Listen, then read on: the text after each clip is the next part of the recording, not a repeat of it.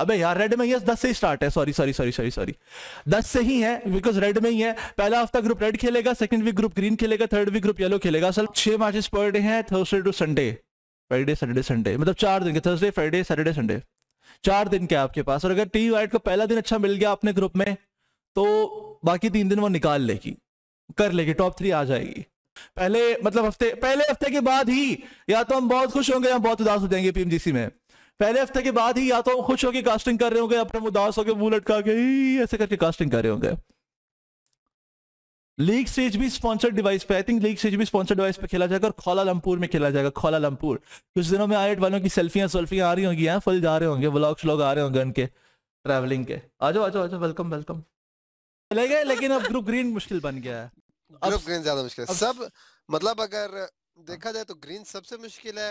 हमारा ग्रुप फिर सेकंड पे मुश्किल और येलो काफ़ी इजी लग रहा है मुझे ग्रुप येलो येलो तुझे इजी लग रहा है? मुझे तो हाँ मतलब मुझे बेहतर लग रहा है सबसे लेकिन इजी तो नहीं कहूँगा मैं भाई। नहीं मतलब अगर तू ऐसे रैंक दे ये सारे लॉबीज को तो हाँ। सबसे मुश्किल ग्रीन है फिर रेड आएगा फिर येलो आएगा। हाँ अभी अभी देखे तू। अभी तुम्हारा क्लैश भी तो होगा इन्फिनिटी के साथ उसका क्या करोगे?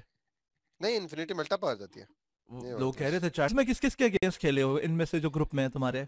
तकरीबन ग्रुप में जो हमारे बीटीआर के साथ डेली खेलते हैं बॉक्स के साथ निगमा के साथ भी खेला एस टू जी के साथ मेडबुल्स L G D E M T T R S बच्चे किसके साथ नहीं खेला? ये जो दो थाईलैंडी टीम्स हैं अच्छा। फोर राइवल कोएसो इनके साथ नहीं खेला। मुझे पता फोर राइवल तो बहुत कुत्ता मारती है।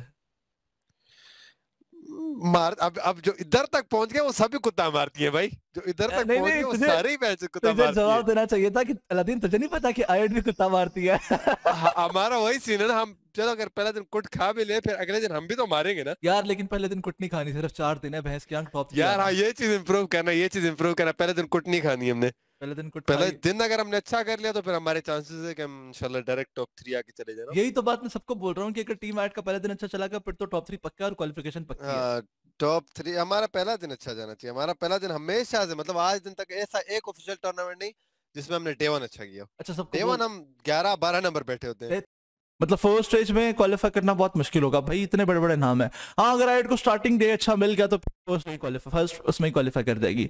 और जो ग्रुप स्टेज है, पहला स्टेज में क्वालिफाई कर जाएगी, वरना थर्ड स्टेज में जाके क्वालिफाई करेगी। कर जाएगी, इतना मैं बता रहा हूँ। इंशाल्लाह फाइनल्स में गई है टीम आइट ज़्यादा ज़्यादा मुझे, अगर उनको फ़र्स्ट अच्छा मिल गया, अगर अगर अच्छा मिल गया पहला दिन टीम आइट को तो मैं आपको बता रहा हूँ कि वो फ़र्स्ट स्टेज में क्वालिफाई कर जाएगी। पहला दिन अच्छा मिल गया तो तो पहले दिन अच्छा मिलने की दुआ करो।